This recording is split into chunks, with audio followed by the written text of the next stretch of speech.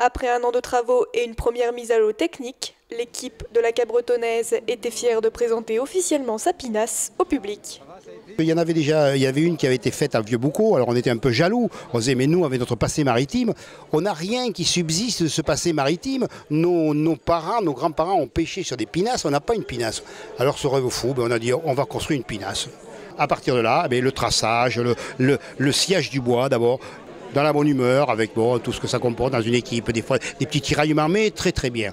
Après, comment l'appeler? Alors voilà, euh, évidemment, tout le monde y va de, son petit truc. Et puis il est venu la cabretonnaise, on a dit oui, ben après tout, ben oui, c'est un, bateau qui veut faire revivre la tradition marine de Cabreton, et eh bien on va l'appeler la Cabretonnaise. Donc là, ça a été à peu près l'unanimité. On a dit oui, mais la Cabretonnaise c'est très bien. Alors pour rester dans la tradition, ces pinasses étaient souvent peintes en blanc et le fond euh, était noir. On passait ça au, blackson, au goudron, quoi, au, calfa. Maintenant, on fait des, peintures qu'on met dessous. On en fait de couleurs, donc on a, essayé de chercher un bleu pour rappeler un peu, on va dire, on va la faire un peu bleu dessous parce que la cingle, on avait dit, les couleurs de cabreton, il faut qu'elles soient discrètes, mais qu'elles flashent. Le plat bord en bleu, donc ça sort bien.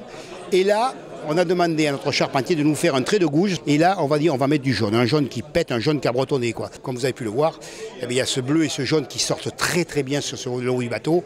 Et, et c'est magnifique. L'objectif est maintenant d'initier les jeunes au fonctionnement de la pinasse afin de créer un équipage, mais également d'utiliser ce bateau comme un symbole des traditions landaises. Il y a un but de patrimoine, un but de, faire revivre la tradition de ce qu'était la pêche à cette époque-là. Il, y a un port magnifique à Cabreton, un port de plaisance, mais également un port de pêche. C'est pour euh, faire un trait d'union avec le, passé. Les parents et grands-parents de, la plupart de, l'équipe euh, de la Pinasse ont pêché à Cabreton, ont été des marins pêcheurs. Donc on veut faire revivre un petit peu ce passé parce que on est les derniers témoins oculaires de cette époque. Une pinasse que tous espèrent voir encore longtemps dans le port de Cabreton. De l'émotion, mais beaucoup, de fierté. Beaucoup de fierté parce qu'il y a encore des gens qui, qui attachent de la valeur aux traditions. Et ça, c'est important. On peut dire bon vent, bon vent à la cabretonnaise.